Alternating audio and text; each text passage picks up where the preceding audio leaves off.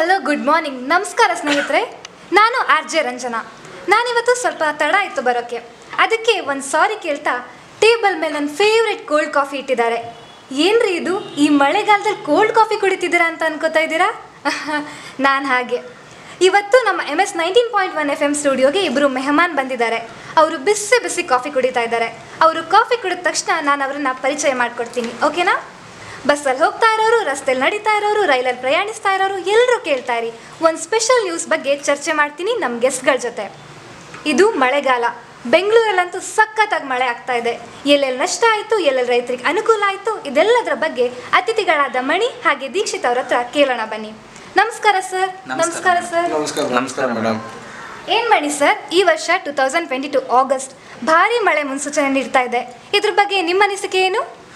ನೋಡಿ ಮೇಡಮ್ ಈ ವರ್ಷ ಆಗಸ್ಟಲ್ಲಿ ತುಂಬ ಮಳೆ ಮುನ್ಸೂಚನೆ ಇದೆ.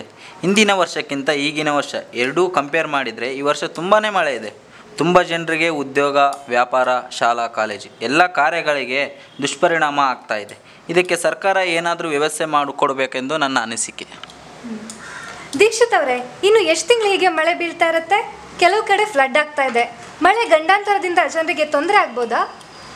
ಮೇಡಮ್, ಎಷ್ಟು ದಿನ ಬೀಳುತ್ತೆ ಮಳೆ ಏನು ಅಂತ ನನಗೆ ಗೊತ್ತಿಲ್ಲ. ಯಾಕಂದರೆ ಅದು ಪ್ರಕೃತಿ ವಿಕೋಪ.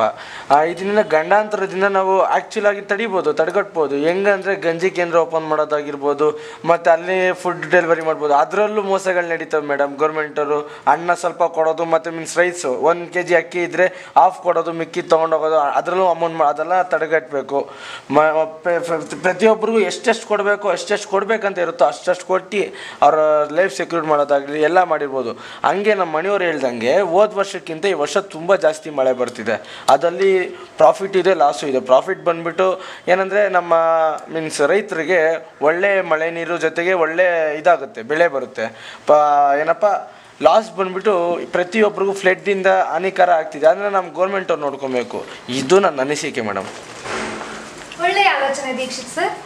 ನಾವು ಈ ಮಳೆಗಾಲದಲ್ಲಿ ಸ್ವಲ್ಪ ಪ್ರಿಕಾಷನ್ಸ್ ತಗೊಂಡ್ರೆ ಮೋಸ್ಟ್ ಆಫ್ ದ ಪ್ರಾಬ್ಲಮ್ನ ತಡೆಗಟ್ಟಬಹುದು ಕೇಳಿಸ್ಕೊಂಡ್ರಲ್ಲ ಫ್ರೆಂಡ್ಸ್ ನಮ್ಮ ಅತಿಥಿಗಳು ಮಳೆಗಾಲದ ಬಗ್ಗೆ ಏನೇನು ಹೇಳಿದ್ರು ಅಂತ? ಸಖತ್ತಾಗಿ ಮಳೆ ಬರ್ತಾ ಇದೆ, ಚಳಿನೂ ಆಗ್ತಾ ಇದೆ.